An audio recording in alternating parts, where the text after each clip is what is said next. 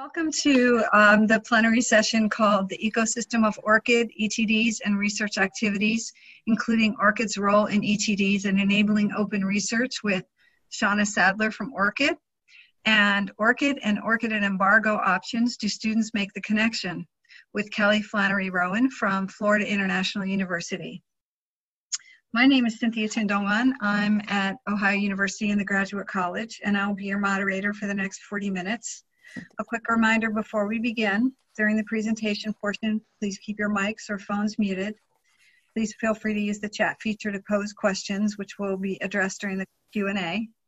And I have in mind that each of the presenters would present at around 15 minutes each, and then 10 minutes for Q&A if that is all right with you.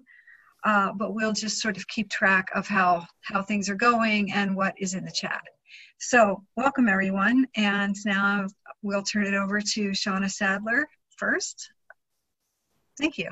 Great. Thanks very much. I really appreciate it. Okay. I'm just taking over the screen share. Great.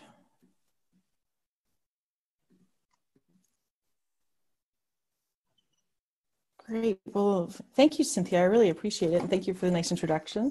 Um, hello, everybody. Uh, nice to see you again. uh, my name is Shawna Sadler. So I'm the engagement manager for the Americas and the Caribbean. So Canada, US, Latin America, and the Caribbean. It's just, it's a fantastic job. I just get uh, such a kick out of it. It's get to meet so many interesting people like we have here today. Um, so ORCID has been around for almost 10 years, and I'm guessing everybody's heard of ORCID, um, but what we do and how it relates to ETDs may not be clear to you. So that's why I've written the presentation today, hopefully to uh, make ORCID a little bit more clear for everyone. And then after Kelly's presentation, we'll be available for questions. And of course, please feel free to reach out to me um, if you have any more questions. Okay, so let's get started. ORCID, what on earth is ORCID? It is a bit of an abstract concept. So ORCID's vision is a world where all who participate in research, scholarship, and innovation are uniquely identified and connected to their contributions and affiliations across time, disciplines, and borders. So in short, what this means is that ORCID is part of an infrastructure to organize scholarly activities. So we provide a unique ID to people. This ID then connects the researcher's scholarly activities to their ORCID record, ensuring the right author gets credit for their work. The person can be anywhere, anywhere in the world and in any discipline. So ORCID provides three specific services. So first is the unique ID that I mentioned. These are usually issued to people who are researching, so either graduate students or researchers, and we're finding more people in research administration are also getting ORCID IDs to, be, to help be part of the process. Second, we provide a record with each unique ID so people can document their research activities. And then third, ORCID provides an infrastructure to share this data with other systems in the scholarly communications ecosystem. So while ORCID is free for individuals to use, um, as a global nonprofit organization, ORCID is sustained by membership structure for organizations interested in using the ORCID registry, which I will get into in a minute. Okay, so now let's take a look at how, or, how ORCID can work for graduate students. So to demonstrate how ORCID works for grad students and researchers, we have here Sofia Maria Hernandez Garcia to demonstrate. So please imagine Sofia is a grad student at your organization. So Sophia went to our website, orcid.org, clicked on sign in register link, and spent approximately a minute registering for an ORCID ID. So this is the 16 digit number that you see on the screen ending in 2427. And this number is unique to Sophia. So when Sophia signed up for an ORCID ID, she was assigned this record to capture her research activities. So I'd like to point out a few key sections of this record. Um, so first, on the left-hand side, we provide the researcher the opportunity to share information about themselves and how they relate to the research community. On the right-hand side, the researcher can list information about themselves, such as their biography, their current and past employers, where they received their education, where they're currently studying, um, such as your institution. So I put this slide in just a little bit. Um, with the, um, we have a one section of the ORCID record where you, awards can be recognized. And so in Joan Lippincott's presentation, she was talking about the Three Minute Theses Award. And uh, we do have some um, universities and graduate associations who uh, host the, three, the 3MT, and they're looking to write the 3MT to the winner's ORCID records. And it'll recognize their university as the host of the 3MT or their association. So it's just something to think about and keep an eye on. So this is um, it, uh, uh, awards are recognized as distinctions in the ORCID record. It's a really broad phrase because we, we try to be all inclusive. But I just thought I'd quickly mention that for everybody who, who might be hosting the 3MT.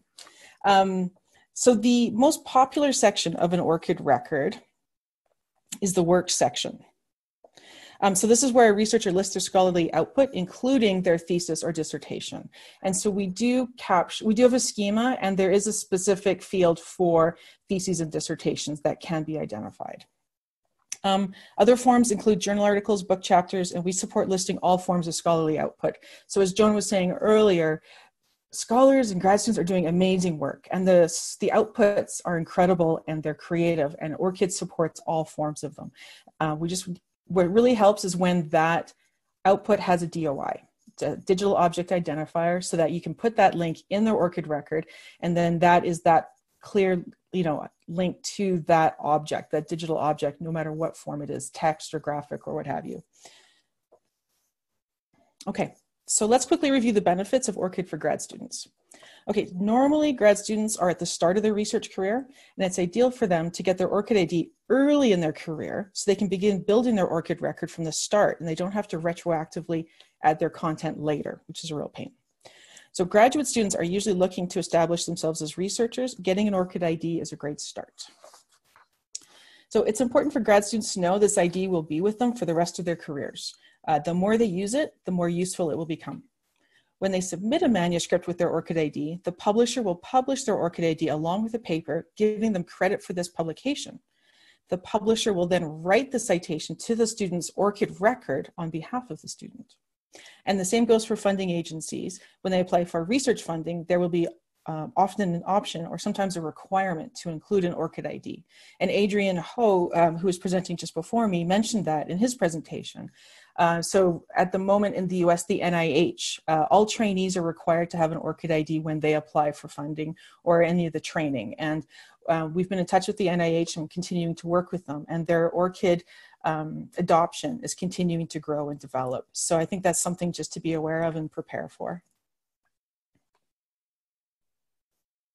Okay, and when students log into, um, into a system with their ORCID ID, the content that's already in their ORCID record will pre-populate the form that they're logging into. So if it's a funding form that requires their biography, all of their work section will carry over and pre-populate for them. So it reduces the administrative effort of the researchers, which of course they, they don't want to uh, retype or re-enter the content. Um, some of the core values of ORCID is that we value efficiency and trustworthy data. So we've created this short animation uh, using Sophia, because she's so great, um, to explain the benefits of ORCID to the individual researcher. I'm, I'm not going to play it now, but I do suggest watching it as a follow-up video. It's a charming animation. Um, if you just, if you Google uh, what is ORCID, this video usually pops up to the top of the results. It's easy to find and uh, hopefully share with your colleagues. Okay, so we've talked about ORCID for individual researchers and graduate students. So now we're going to shift and we'll talk about ORCID for organizations. So there are three key groups when we think about the benefit of ORCID for research organizations. So first on the left is the graduate student or researcher with an ORCID ID and a record full of their scholarly activities. So second in the middle is the ORCID registry. So this is a big database. Um, this is ORCID's infrastructure that holds the ORCID records and IDs. So currently we have just over 9.5 million of these records and IDs uh, from scholars around the world and in every discipline. Um, and the third on the right is your organization and whichever platform you use to organize the information about graduate students and research activities at your institution. Um, some names of these systems are student management systems, repositories, research management systems, and of course, ETD systems. So ORCID has built an infrastructure where the data about these 9.5 million researchers can be shared with other organizational systems. So when an organization gets membership with ORCID, the organization can pull data from ORCID to populate your local system. So this can be done on demand or set up to enable auto update, giving administration access to real-time accurate data. So you'll notice the arrows go both ways in this diagram. With organizational membership, organizations like yours can write to researchers' records. So this helps the researcher maintain accurate data in their ORCID record, which is used to populate forms such as funding applications and manuscript submissions with publishers. Um, there is one feature that I've heard from grad schools that they value, and that's the ability to call or like pull the data from ORCID um, about their current graduate students and alumni. So stepping back and looking at ORCID's role in the research ORCID, uh, the research ecosystem, we see the researchers at the center of it all with interdependent relationships with funding agencies, publishers, and their institution. ORCID provides a unique identifier for the researcher they can be clearly identified and given credit for their research activities. So again, you'll notice there's a two-way arrow representing data flowing between ORCID registry and other stakeholders, such as funding agencies and publishers. So automating the data to flow freely from the source of the data to the other stakeholders allows for accurate data to populate our systems and minimize burden on researchers and research administrators. So the ORCID registry is a hub that enables data to flow efficiently. Okay. So let's quickly review the benefits of ORCID for graduate school administrators. Um, to keep things I guess simple. If just imagine that your graduate school there's a policy and all your graduate students have an ORCID ID, then the graduate school could then get data from the ORCID registry for for rep- reporting purposes. That was hard to say. Reporting purposes. You can see which of your grad students have published and received grants. And then after graduation, you could get data about your alumni to see if their research publications and funds have, have continued to grow over time. You may want to reconnect with them and celebrate their success as one of your alumni. It's hard to get data about alumni, isn't it? It's tricky. So uh, the ORCID registry is one way you could do that. Okay, so quickly, uh, benefits for uh, of ORCID for librarians and archivists. Uh, the ORCID ID is a unique identifier, that's clear. Uh, so the works are attributed to the right author, and you know, from pra- pragmatic experience, I mean, I used to be an ETD administrator as well, and I remember looking at the collection, and there would be multiple common names, and I wasn't sure which work the author, which work belonged to which author, and so this is what the problem that ORCID solves. Um, so the unique ID also supports researchers who change their name for whatever reason without repercussions to their career. So um, in the presentation that Kent State uh, did a little while ago, they referred to this in their records. Um, you know, it's a bit of an issue when um, authors change their name. And so when you remove the name itself and you only give them a unique ID number, um, it really does help with this, this issue. And, and we've all, we've all met the researchers who, you know, sometimes they'll get married and change their name or they decide, you know, for uh, maybe gender identity purposes, change their name as well. So um, if they have an ORCID ID, that issue is removed and they don't have any academic repercussions with their uh, for, um, with their academic uh, rec- record of work. Shawna, yes. I, am I'm letting you know that you're just about out of time. If you need another minute or so, I think that okay. would be fine. Perfect. Thank you. Um, and then just for all the librarians out there, all the uh, data in the ORCID record has three privacy settings. You can set each line item of data to fully public, only for trusted organizations the researcher decides, or private. So there's a lot of US, US universities doing some great work with ORCID right now uh, with different policies and different levels of integration with their ETD systems. Um, you know, I'll share my slides so you guys can read these, go through them later if you like. Um, I also just wanted to point out that, some of the US funding agencies, uh, you know, if a graduate student receives funding from a, a, government agency, sometimes there is a requirement that the agency also get a copy of the research. So this is an example of the US Department of Energy. Uh, they do require um, the deposit of the thesis or dissertation, and they do assign an ORCID ID as part of the process. And so here's an example record of one of the DOE uh, theses in their collection, the eLink collection. So just some stats for you guys if you... Sorry, I'm going to have to cut you off. I'm sorry. All done? Okay, so there we go. Thank Thank you so much. Thanks, everybody.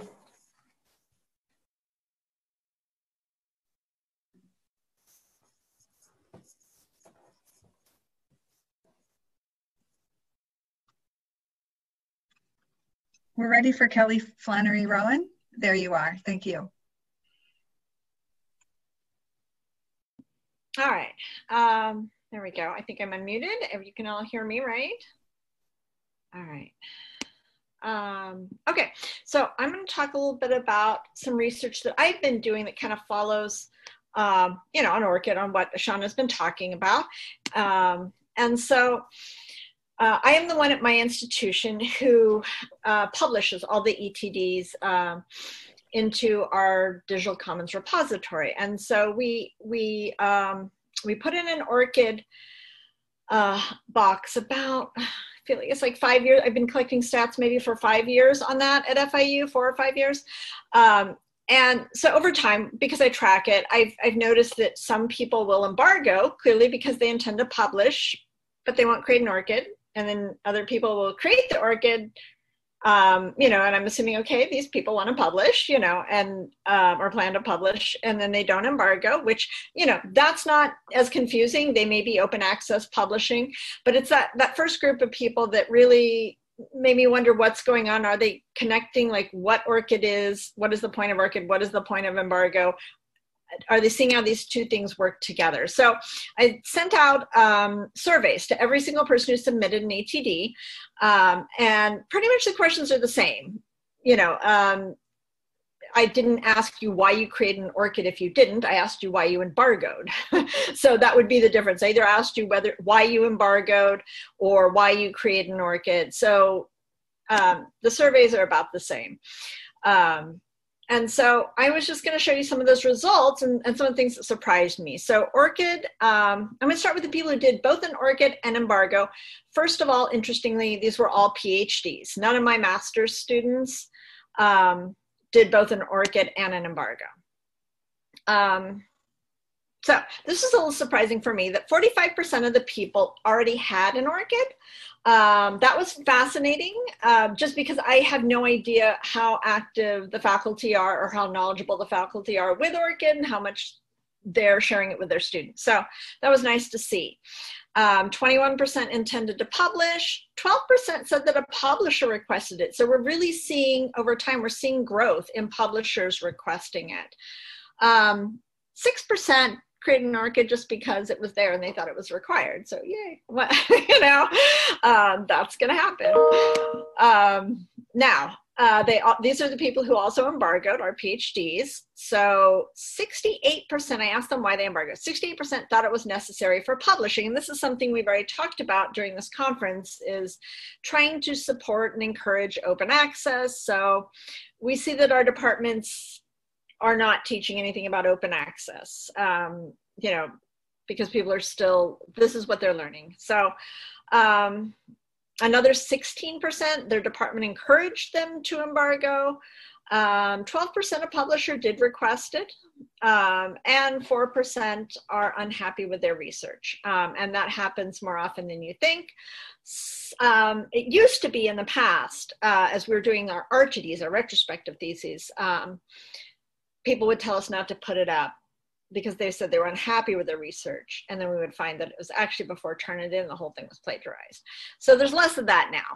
Um, all right, so here's the group that really interested me. The I created an ORCID, but I didn't embargo or embargoed and I, I didn't create an ORCID. So I just want to know what's going on in their minds. So for the people that chose not to embargo, so these are people who created an ORCID but chose not to embargo they uh, this was a nice surprise too right? So 46% want their research to be freely available. Yay.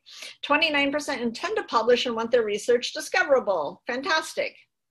10 people maybe i guess the question the option the answer was found no reason to embargo so maybe they don't know what embargo is. Perhaps that question should have been more specific. Um, now out of these responses 65% already had um, parts of their thesis or dissertation published elsewhere which is interesting and they still wanted it open so maybe they they could have been working on a grant or a patent or something from the government or just have been really up on open access. I don't know. Um, and 86% of those people were, um, were PhDs. Okay, so why did you choose to embargo? So these are the people who didn't create an ORCID, but went ahead and embargoed. And 58% of those people plan to publish. So why didn't they create an ORCID? Um, so that was my, that's my big question. Um, so they embargoed because they figure they're going to publish, um, or 14% that, again, their department's telling them to. Um, another 9% thought it was required, and that was actually probably from the department too or colleagues. Um, and of course, we have the smallest percentage, we have those people who are just unhappy with their work. So I put these side by side. So, like, why did you create an ORCID and why did you choose not to? So, again, with this group, this is not that first group, uh, but this is the group of doing one or the other. Um, 43% already had one again. Um, and the others did it because they intend to publish, and another 13% because a publisher requested it, and another 8% they heard a publisher rule required, or someone in a department recommended. So it really is word of mouth. They're hearing about, uh, they're creating their ORCID because they're hearing about publishers requiring it, publisher, publishers requesting it. Okay, and the last one, I thought it was, I think it's the last one. I have these little windows are everywhere. Okay. Um, I thought it was a good idea whether I publish or not. Um, and we grabbed one person who said, I thought it was required. So, okay. um, I used to say, well, if you're never going to publish, if you're literally never going to publish, you're, you're just, you, you just squeaked by through this degree and you just want it to be over, then creating the ORCID wasn't, eh. But what I've realized over time is we have had some cases of students that had we have one case. Sorry, don't want you to think there's hundreds. Uh, there's one case of a student who had the same name as a terrorist. And so maybe this is a really good idea whether you're not going to publish or ever, because there's a reputation too. So that someone talked about that in a previous uh, previous session about your your academic reputation. So maybe even if you're never going to publish, but this one thing's out there, it's a good idea to have an ORCID just to avoid that kind of confusion. Um, and so the people who didn't choose an ORCID did not know what ORCID was, which is kind of what I figured before the research started, that there was some, I don't know what ORCID um, is, but almost an equal amount just because I didn't require it. It wasn't required. Um, so that's something to think about because I'm seeing from this uh, conference today, you know, some privacy uh, restrictions in place that might make that work. Um, I didn't notice the ORCID field, which is really weird because we have a huge box for ORCID. That's almost more confusing because you're like, what goes in this huge box? Um, so I have to look at that again. I didn't think it was important and I didn't have time, which tells me they didn't read the graduate school manual because it says it takes about 60 seconds. So, all right, so in summary, um, our PhDs understand ORCID and the departments are educating about embargo and ORCID, whether or not they're educating correctly about embargo is another conversation.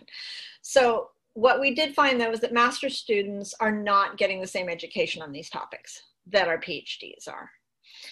Um, and we're seeing, and I'm obviously seeing a lot of continued growth in uh, publishers and other people, you know, expecting an ORCID. So surprises for for me. So the worst one was that my survey actually caused people to go back and embargo, and they wrote that in the survey. Well, after doing this, I've embargoed. I'm like, oh. So I was going to do this study for three semesters, and I decided two was enough before I force anybody else into embargoing. Um, far more students. This is surprising for me. Far more students are aware of ORCID uh, than I thought. Uh, so that's great news. Um, not having enough time to create an ORCID. Like I said before, I think that's just a clue that they didn't read the manual. Um, just missing the ORCID field. I don't know how they're doing that either. Like I said, big, huge box, but I'll look at that again. Um, I was kind of surprised that 40% don't know what ORCID is. Oops, I'm so sorry. Um, I think that's just a case again of not reading, not reading the handbook. Um, but surprisingly 75% wanted to share their research of those that you know did not embargo wanted to share their research which i thought was great and finally, my last slide. Um, these are things that I think from my research that we've learned and that we can maybe address. And I would love to hear from people if you have dealt with any of this, if you have solutions that have worked. Uh, we obviously need to reach our master's students better. Um, maybe we need more ORCID signage in the library. I'm thinking like at the checkout desk, the reference desk, maybe more of this. I assume it's part of our first year experience. Our reference librarians are great, but I feel like it's something I should check on um, and see what's happening. Uh, we will likely not require ORCID, but after today's conference, I may take another look at that. Um, and then make ORCID feel more visible. I don't know how I'm going to do that, but I'll take a look at that. um, find a better way to share the brevity of signing up, right? So these are people who didn't obviously didn't read the graduate uh, manual on this on this particular subject or the LibGuide that we have up. So uh, maybe we have an ORCID sign up event. I, if you guys have suggestions, throw them in the chat. I will get to them as soon as I'm done here. Um, and then just better education about open access for the students and the faculty, right? And so um, it's it's really not that difficult. So FIU does have a strict open access policy, like try to publish an open access first, but just this month, me and my two co-authors um, actually published in a journal that is not open access. But I simply wrote an email and said, hey, we have a strict open access policy here. Can I put a preprint up? And he's like, sure. It's not that hard. So, um, you know, I know some people are going to be stickier about that, you know, but that's maybe we just need to do some education on that. And of course, the citation benefit that comes with OA, which benefits the students first and foremost, but also the university, right? So, um, so I feel we could probably do some more education on that. And um, this is that's my research in a nutshell. Um, we have Shawna's information up here in case you'd like to contact her. You have mine, and Shawna included Sheila uh, Rabun, um, who is the US ORCID Consortium lead, um, in case you want to contact anybody. And we are open to questions if we have time. It looks like we have one question in the chat. Does the institution need to have an institutional membership to access grad student data?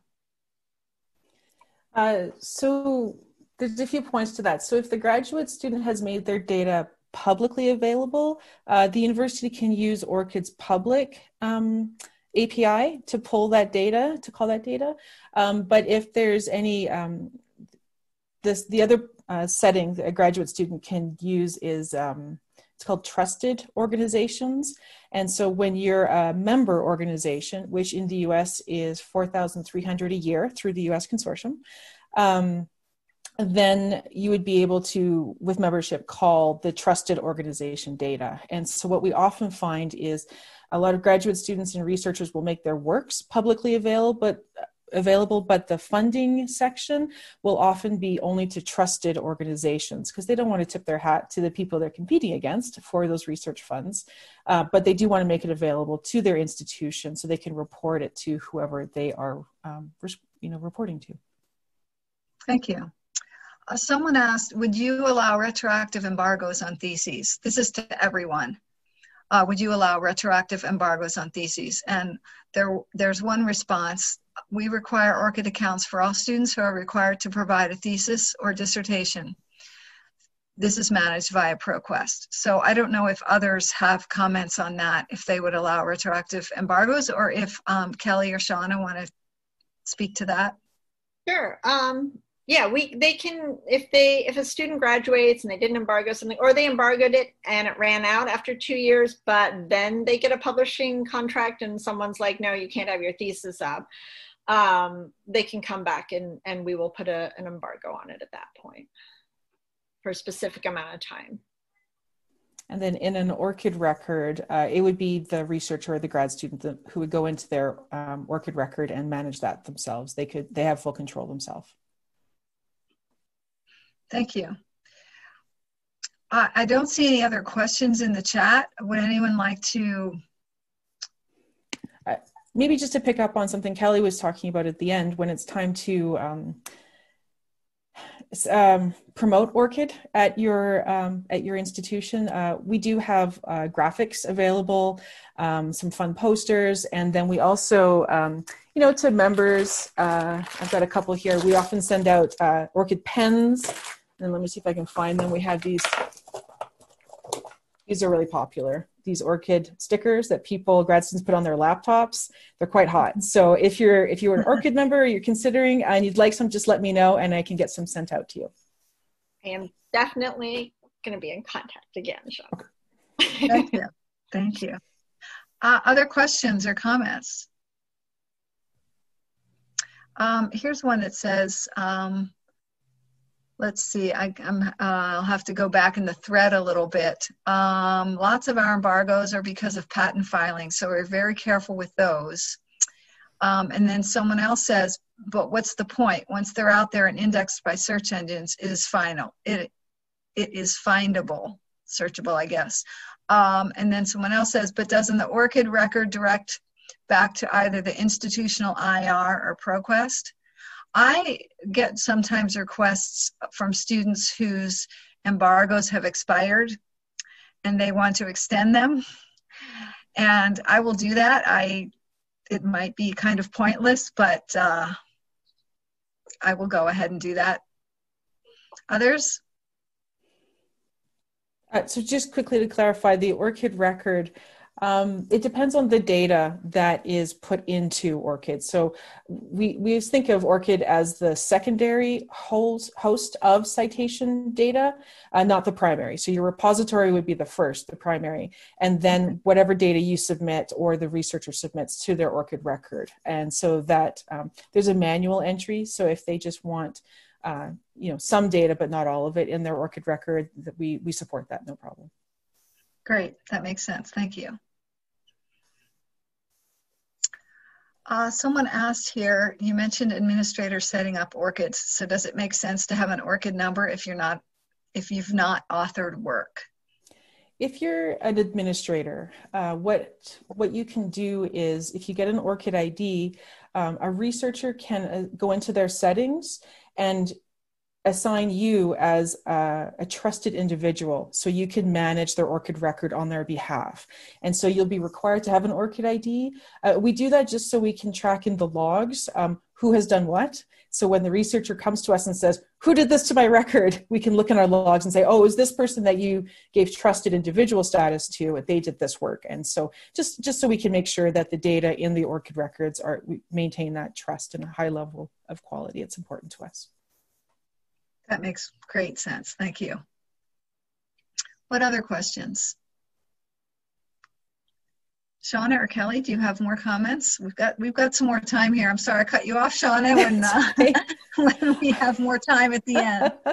I think I was just going to talk about you know the impact that ORCID has with some of our statistics. So I mentioned that we're uh, currently at 9.5 million people um, who have ORCID IDs, and we're expecting about two weeks that it'll hit 10 million uh, ORCID IDs that have been issued. So just to talk about the scale of it and uh, uh, and I talked about organizations that write to ORCID records. So uh, it's mostly the publishing industry uh, who write to ORCID records. So it's really um, that's where the biggest uptake your your students and your researchers will find when they submit a manuscript.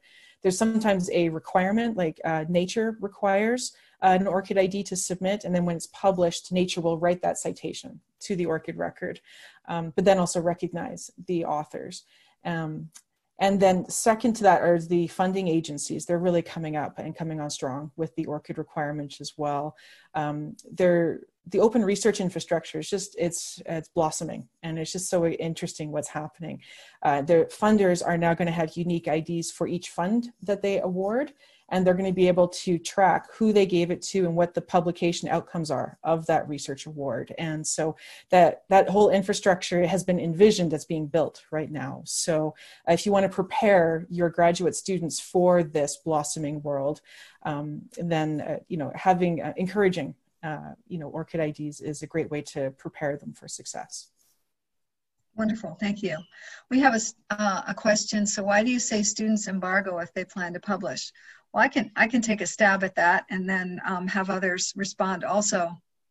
Uh, students embargo their work because they want to protect it um, hopefully just temporarily, um, from others accessing it because they want to get credit for their own work. Um, that's that's I think the simple answer. And then they, after they publish um, in a journal or um, in a textbook or a novel or however they intend to publish, then they can um, release the embargo. Would you like to speak to that, Shawna, or Kelly, or anyone else? I can say something about that. For us, um, students are embargoing if they plan to publish because their department is telling them that they can't publish unless they embargo, which is not true.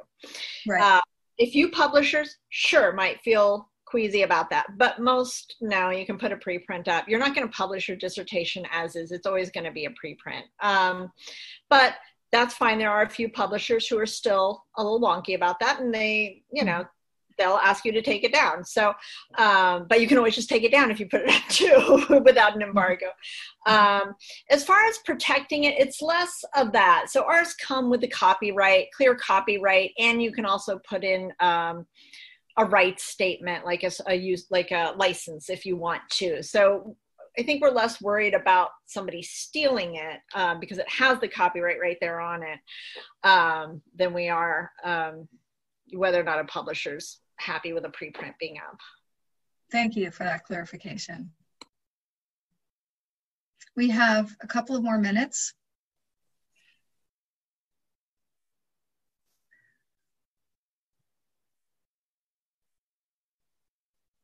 Um, there's a question when we're speaking of publishing, are we talking about availability through open access or to a specific repository, et cetera?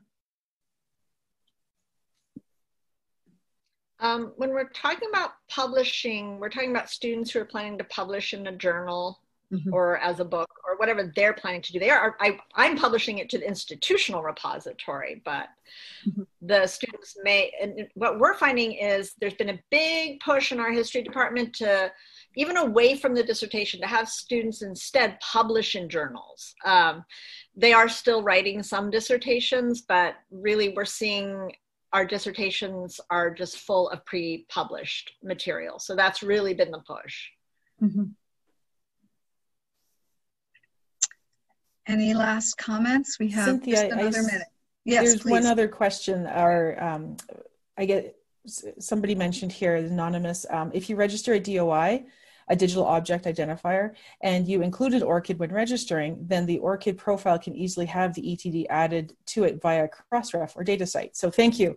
Uh, Crossref and DataCite are our sister organizations. We work closely with them, and we do um, enable interoperability. And so if you just Google ORCID and DataCite, um, you'll see how you can connect um, your ORCID ID to your DataCite. And so uh, when a DOI is issued, it's automatically written to your ORCID record. So again, it keeps the data consistent and uh, nicely connected. Wonderful, thank you. Um, we have another question, um, and I, I um, request you just direct that to um, Kelly directly, and uh, because we do need to wrap up, and I want to thank the presenters for a compelling presentation. Thank you very much. And all of you who um, attended, I hope you learned as much as I did.